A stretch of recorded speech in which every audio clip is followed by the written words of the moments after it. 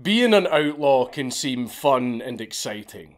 Living out in the wild, always running away from the authorities, getting up to all kinds of scallywaggery, and stealing absolutely everything that you see. But it is a very difficult and dangerous life.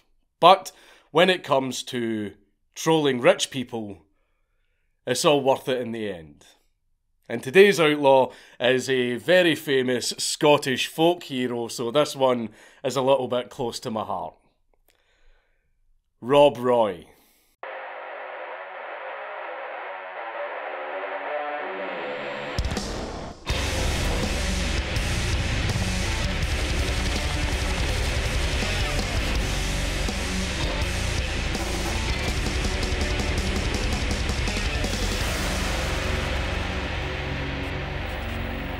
Please leave a like and a comment on this video because it really helps me in the algorithm.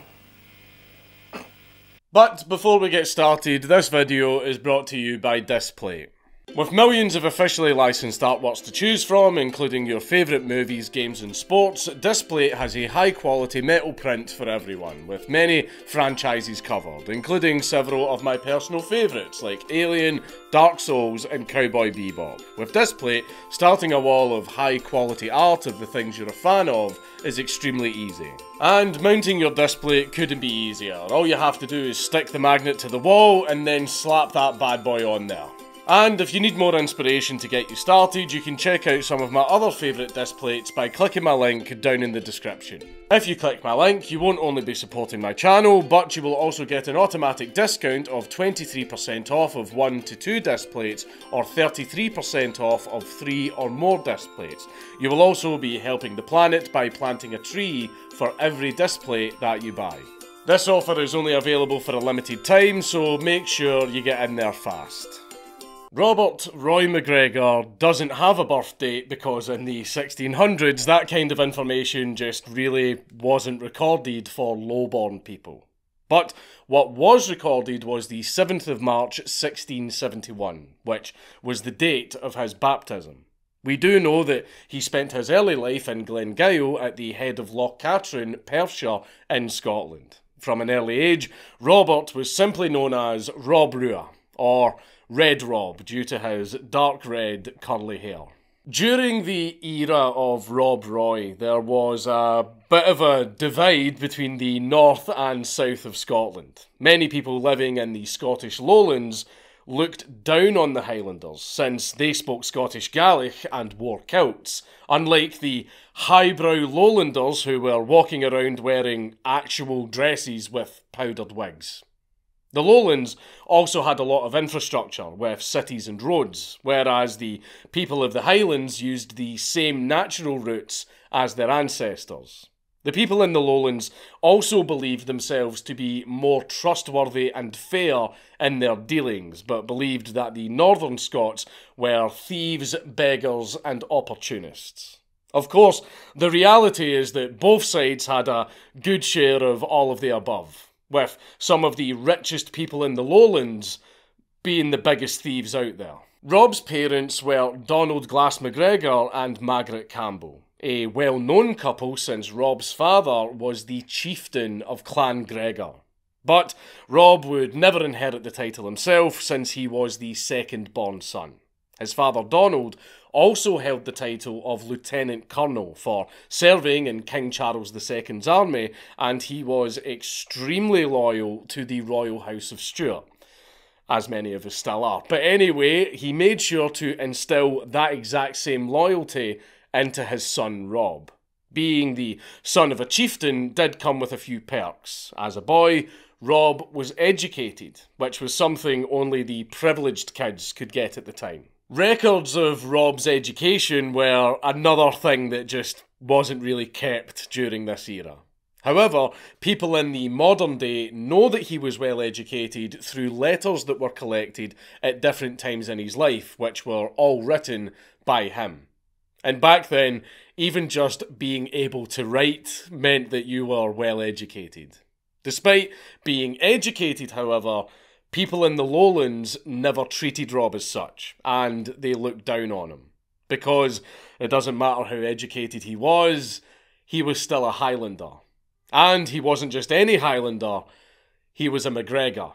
So, Rob was seen as one of the wild MacGregors, which is something that the Lowlanders would call them. They would also be accused of being cattle rustlers and brigands.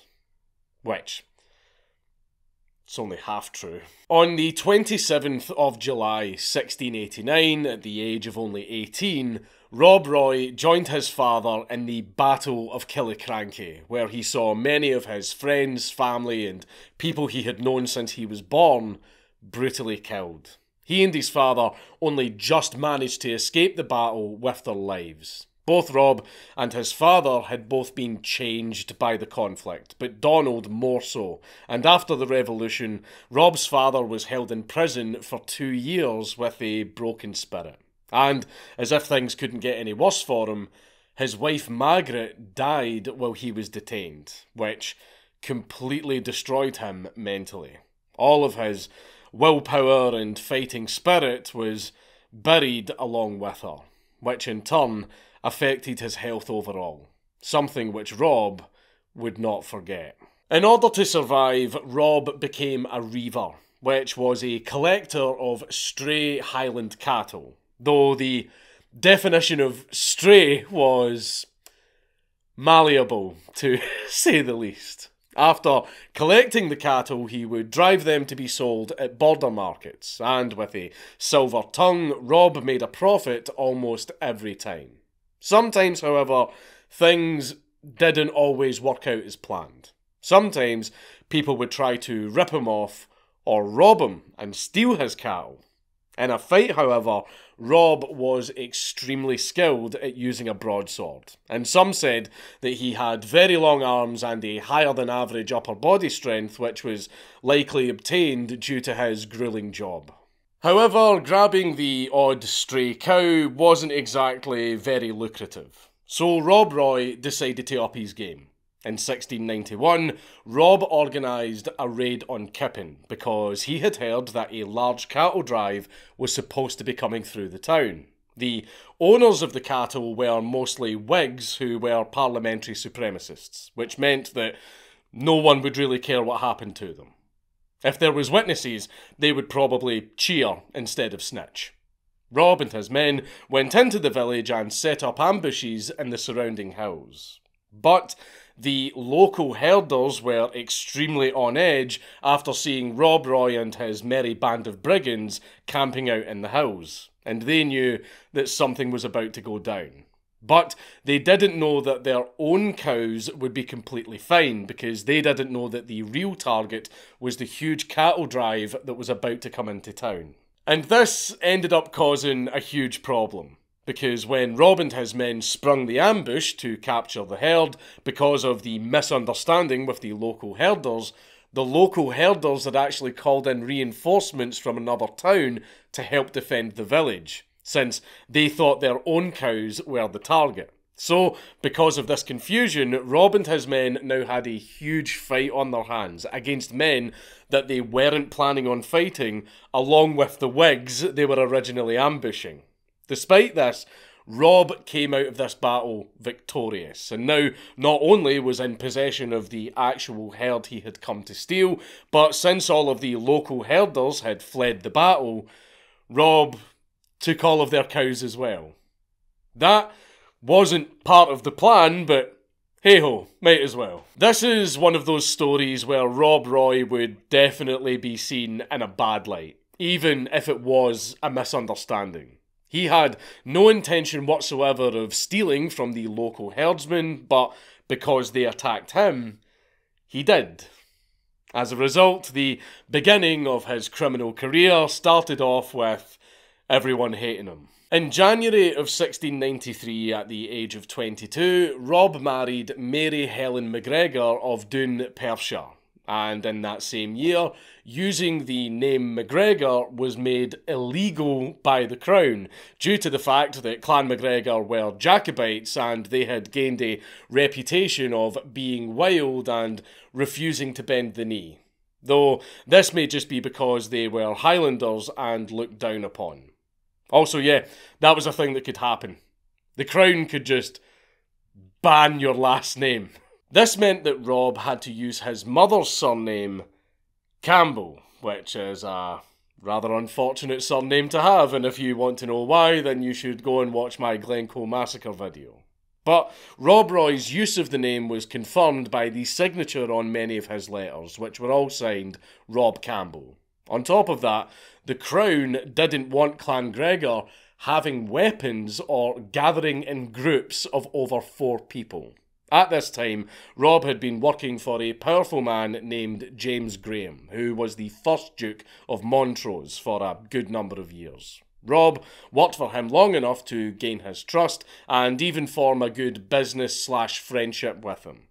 This would not last, however, as we will get into soon.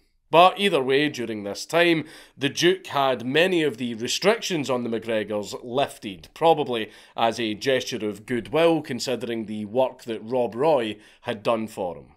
Every year, Rob Roy would drive his cattle to market, but he would also take other Highlanders' cattle with his own to be sold for a fee when he returned home. On top of this, because cattle owners in the lowlands kept having animals go missing, usually from theft, it was Rob's job to watch over and protect them from anyone who would come and steal them. Although Rob did steal some himself. But this was usually because he didn't know the cattle had an owner and he thought it was a stray, or he did know the cattle had an owner, but he hated the owner. At this time, it was pretty dangerous to be a cattle farmer and drover, since people would raid farms and steal whatever they could, but Rob, being a very skilled swordsman, was really good at his job, and every year he became more and more wealthy and successful. He owned a fair amount of land on Loch Lomond side and Balquhidder. And he had become so good at cattle driving and dealing that he had developed a trust with very many people, including the rich, who at this time could have had your head for so much as looking at them wrong. Rob had also developed a sense that nothing could go wrong, since he was excelling in every aspect and had done so for years now. So, in 1711, he began taking job orders for much more money than normal. This money he was given was a debt, a debt that Rob would have until he completed his journey and fulfilled his order. In 1712, however, Rob Roy messed up big time and lost a lot of cattle. And he also had most of his own money stolen by one of his most trusted men. After searching for the thief, he was nowhere to be found, and this meant that Rob Roy now owed his creditors massive amounts of money. Even in those days, however, you wouldn't have just been instantly thrown in jail, especially if you had been in such good standing for many years. Just like in the modern day, if the terms were accepted, you could set up a payment plan to pay back your debt. In fact, it was likely a lot better than the modern day since you wouldn't be getting shafted with so much interest. There would still be a little bit of a blot on your record, but so long as it was paid on time, that would eventually become irrelevant. Rob Roy, however, owed a lot of money. A lot. And if he wanted, he could have just shrugged off the debt if it was owed to just some random farmer. But it wasn't owed to just some random farmer. It was owed to his boss, James Graham, 1st Duke of Montrose, and Rob Roy now owed him £30,000, which back then is an absolutely insane amount of money. And as we mentioned before, James Graham was a very rich and powerful man that owned a lot of land in the lowlands, including the south of Loch Lomond, as well as townhouses in both London and Glasgow. He was also very politically powerful and was in huge favour of the Union. Normally, like I mentioned earlier, Rob would have established a deal to pay back what he owed to the Duke of Montrose. But the Duke had been humiliated by Rob's fuck up, so a simple payment plan just wouldn't cut it.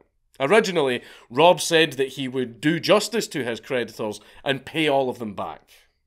But Rob Roy was summoned to court to discuss this issue. And he refused to go. And since he refused his summons to court, the court declared him an outlaw. And for that, Rob Roy kind of changed his mind. He went, yeah, you know what, that Duke guy, yeah, fuck him. Fuck him. I'm not giving him his fucking money. I'm not giving him a fucking penny. Fuck that guy. Rob was even quoted as saying, What came upon me was partly designed by others. But he also said that he would, and I quote, get a grip of them. Especially if they stayed living in Scotland, as, and I quote, all the Highlands has such a kindness for me in general that they will assist me. Since he was now an outlaw, Rob Roy had to stay under the protection of the Campbells, since his mother was originally a Campbell. Because being an outlaw doesn't just mean you're a wanted man, it means you are outside of the law. The protection of law now no longer applies to you. That means that people could walk up to him and assault him, they could mug him, they could steal all his stuff. Shit, a guy could walk up to him and stab Rob Roy 47 times just for a laugh, and they wouldn't be charged with murder because the man they killed does not have protection under the law. He is an outlaw. But Rob Roy didn't just sit quietly and wallow in the fact that he had been made an outlaw. He just carried on as normal, and instead politically played the Duke of Montrose off against two other dukes, namely the Duke of Argyll and the Duke of Atholl. So they were all too busy squabbling and fighting with each other to have any time to arrest and imprison Rob Roy. But Rob Roy wasn't completely ignored, however. In one instance, he narrowly escaped near imprisonment by the Duke of Atholl after finding out that the Duke of Montrose had sent men to take ownership of Rob Roy's lands because outlaws were not allowed to own land. So, in response, Rob travelled south to the Duke of Montrose's castle and stole 30 of his prize cattle. The Duke of Montrose, upon returning home after seizing Rob Roy's lands, asked his men, Where the fuck have all my cows gone? Men were then sent to follow and capture Rob Roy as he travelled back to the Highlands, which meant Rob Roy couldn't find a place to stay for the night and he and his men had to sleep out in the hills. Then Rob Roy did something unusual.